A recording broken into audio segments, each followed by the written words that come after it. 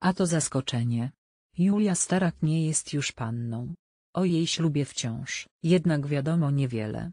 Julia Starak nie pokochała przesadnie polskiego show biznesu. Córka miliarderów miała okazję pojawić się na salonach dzięki bratu, który związał się ze ściankową wyjadaczką. Agnieszką Szulim. Reklama siostra Piotra pojawiła się wraz ze szwagierką na paru imprezach i na tym poprzestała. O Julii pisano jednak jeszcze przez jakiś czas. Kobieta postanowiła w pewnym momencie wziąć się za siebie i schudła ponad 20 kilogramów. Pomogła jej w tym Ewa Chodakowska. Zmiana wyglądu wpłynęła najwyraźniej także na jej życie uczuciowe.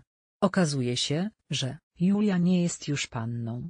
Serce dziedziczki miliardowej fortuny skradł tajemniczy Szwajcar o imieniu Fabrizio. Piotrek zdradził ostatnio na swoim Instagramie, że przebywa właśnie w Szwajcarii u swojej siostry i szwagra. Starak poleciał do Zurychu nieco postrzelać z rodzinką. Filmik z wypadu do lasu opublikował w sieci.